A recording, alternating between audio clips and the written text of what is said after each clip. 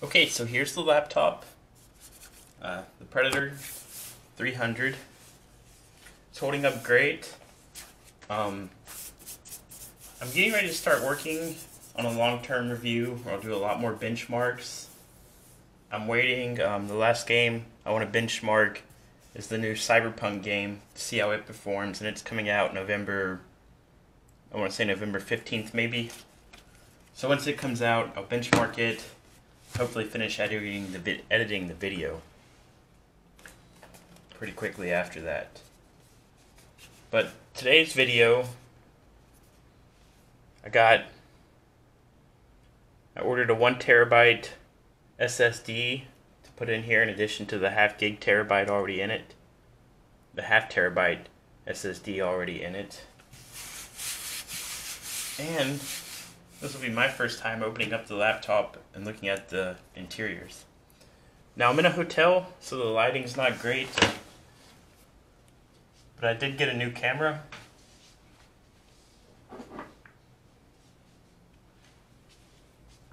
So hopefully the video quality is good.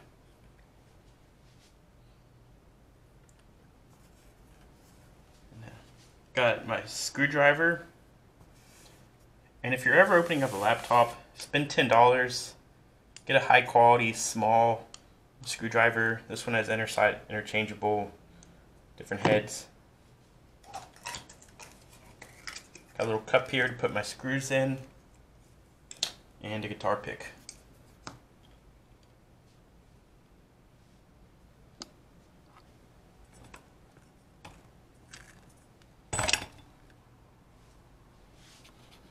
Okay, so we're going to go ahead and open up the back here.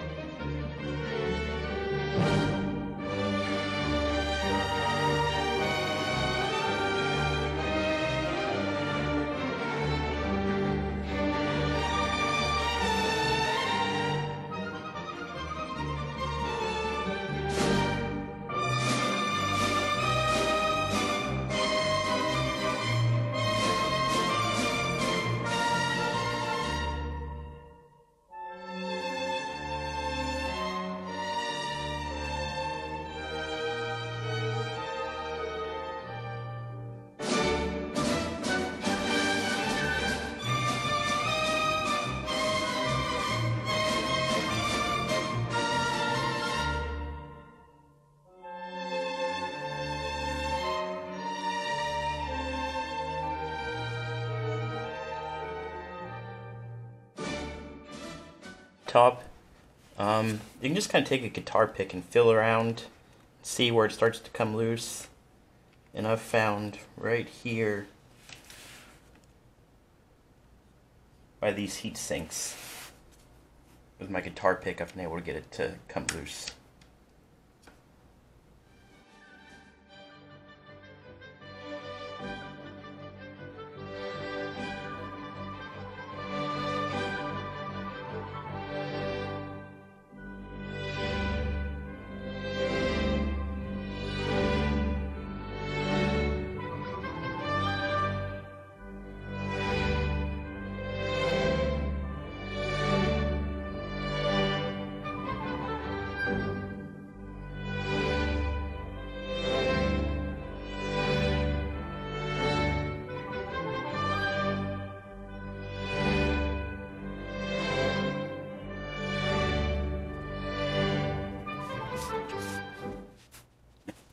This fan has just a couple of cat hairs or dog hairs on it. But otherwise this one is spotless. Here's our RAM. It's the two 8 gigabyte sticks if you were wanting to upgrade. Here's our battery, uh, 57 watt hours. Here's the OEM SSD. We're going to leave it in and just add the second. And right here, this big shiny slot, is where if I bought a H, uh, a regular hard drive, you would put it using the little kit that comes with it. Here's our cute little tiny speakers. Okay, so anytime you're working on a laptop, putting uh, new components in or out, it's good to disconnect the battery.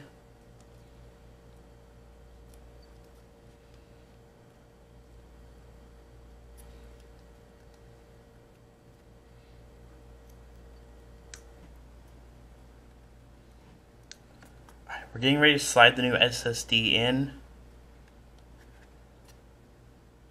Um, there's a small screw right here where the back of it is that we have to take out first.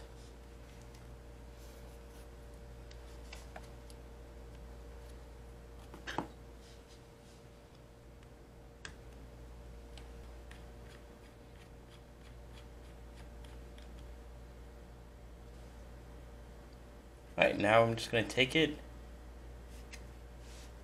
and hopefully it just gently slides in.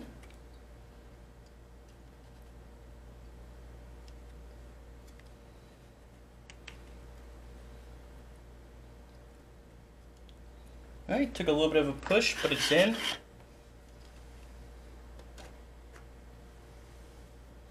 Gonna take our tiny screw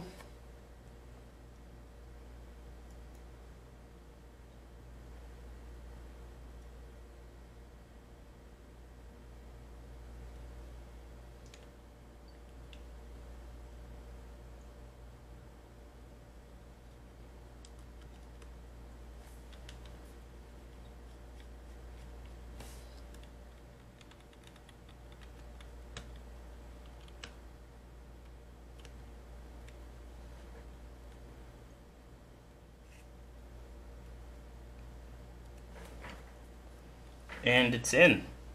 So we're going to reconnect the battery and snap the case back on. And then before I put all the screws back in, I'm going to turn it on and make sure it's reading this hard drive before I have all the screws in there and have to take all those back off. And see if it's reading. Now, working on your $1100 laptop can be a bit scary, but uh, if you go somewhere like Micro Center, I'd probably trust them if you have a Micro Center around you. But so when I, I was out of town, I'm pretty much always out of town, but a couple months ago, and my wife, uh, the dog spilled an energy drink on her laptop, so I told her turn it off uh, and take it to like a local repair shop where they can disassemble it. And actually, they have a heating pad there. But they disassembled it, took out the battery and the hard drive and all the kits, and left it on the, a little heating pad for a couple days to dry out. And then it started back up just fine. And they said, "Hey, uh, you know, we don't have the factory charger, but you're probably going to need a new battery. So just take it home with your charger, see if the battery works. We're not sure." And um, sure enough, her battery wasn't it wasn't holding a charge at all. As soon as it came unplugged, it died. And so I took it apart to see, and you know, I'll never know if they did it on purpose or not. But they had simply left the battery. The battery was unhooked, or it, it was sitting there, but it wasn't pushed in all the way. So. It's one of those things you'll never know. Did they do it because they wanted to make another hundred bucks to install a new battery, or was it just a simple mistake?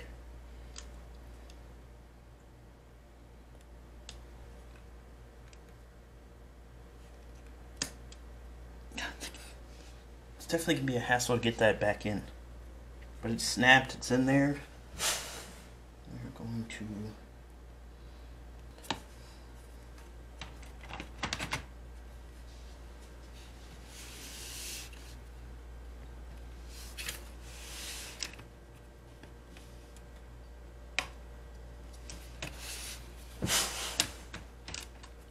hopefully works normally. Kind of press the front on first, then you work your way back.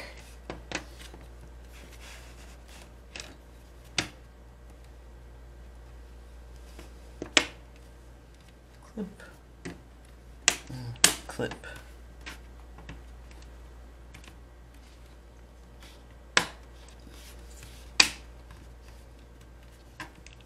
If your charger is lined up square in the hole, it's a good way to tell that you got the back case back on correctly.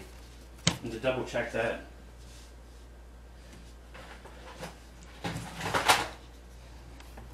I like to grab my charger, and if it goes easily in, like that, I know it's on there good.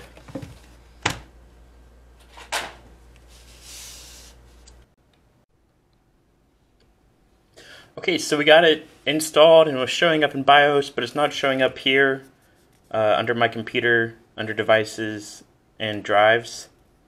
So what we have to do is go to control panel.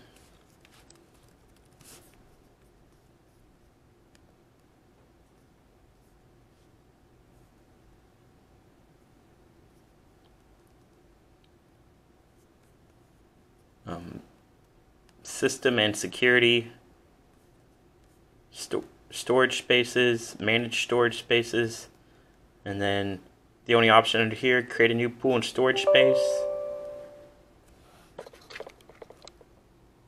And I think it's glaring, but it just says, do you want to allow an app to make changes to your device?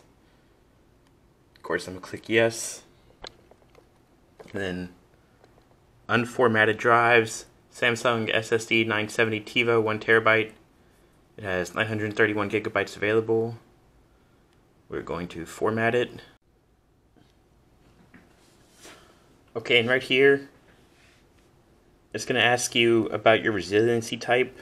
Um, if you choose two-way mirror or one of these other settings, I don't know a lot about it, but basically it just, it's an extra backup for your data.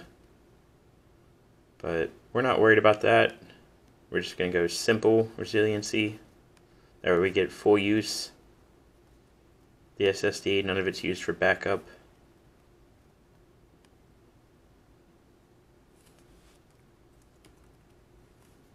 And on this format, we're going to type in 930 gigabytes, all 930 gigabytes, and then create storage space.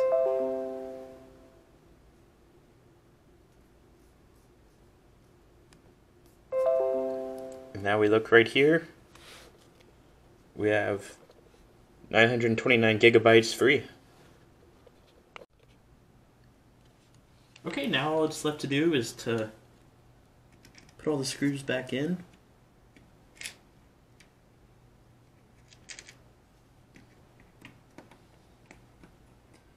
Um,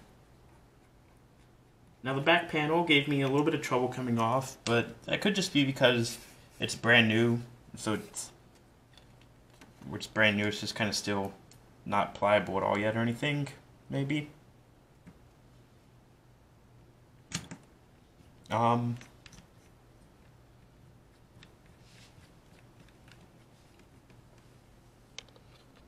if you like this video, or you know what, even if you didn't like the video, and you're just a nice guy, you can subscribe to my channel, and that helps me out a ton.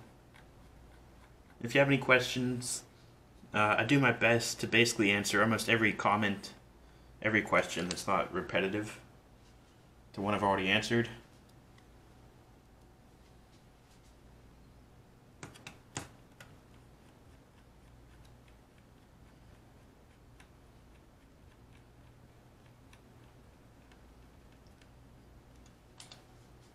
And last screw.